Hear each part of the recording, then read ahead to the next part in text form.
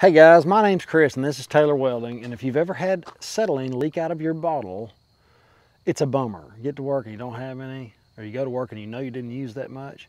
And a lot of times it's between here and here. And I'm gonna show you what to do about it.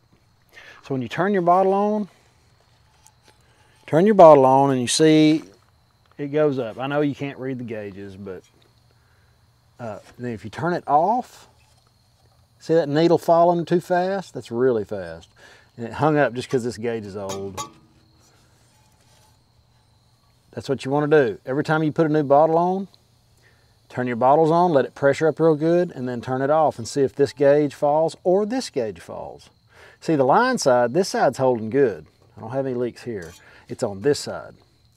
So what you do is you already got this nut broke loose.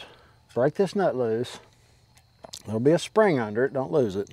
Pick all this garbage up. Tighten that uh, packing up on the bottle. I'll do this without, without moving the camera too much.